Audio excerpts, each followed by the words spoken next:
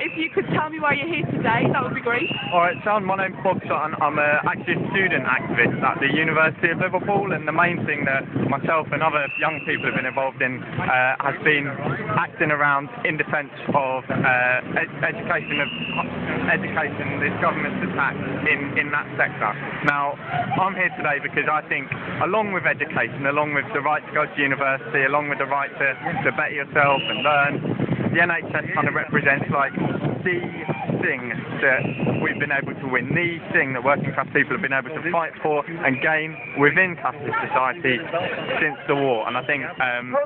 those those those two basic expectations, the expectation of decent education and the expectation of decent healthcare, free at the point of provision, uh, the kind of two underlying um, bedrocks of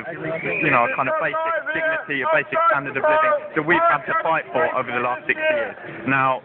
I think what this government's doing, is a full-scale attack on those two rights, mean it's not just a task for, you know, those of us who are young and in, education or those of us who are um, working in the NHS and need to use it regularly, although, you know, I think everyone at one stage or another has to use the NHS. Um, these, re- these represent,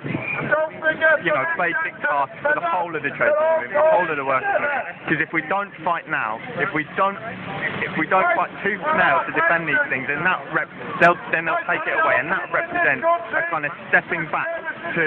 you know, if I'm not even you'd have to go back to my grandparents' generation in terms of the reversal of the basic like dignities and the, and the basic expectations of life that that would send us back to the idea that you have to sell furniture to um, fund uh, decent treatment if you're ill, and the idea that um,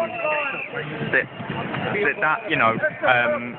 dignified, clean, uh, well-resourced healthcare is uh, a privilege and not a basic expectation of society. So I'm I'm here out of a, out of a clear understanding that we only ever got these things for through fighting for them, and if they and if we let them go now, it could take us another 20 years to fight them back. The only way we're going to hold on to these things is if we fight for them. Nice one. Thanks very much. This is for the Merseyside Street Reporters Network in Liverpool outside the Royal Hospital.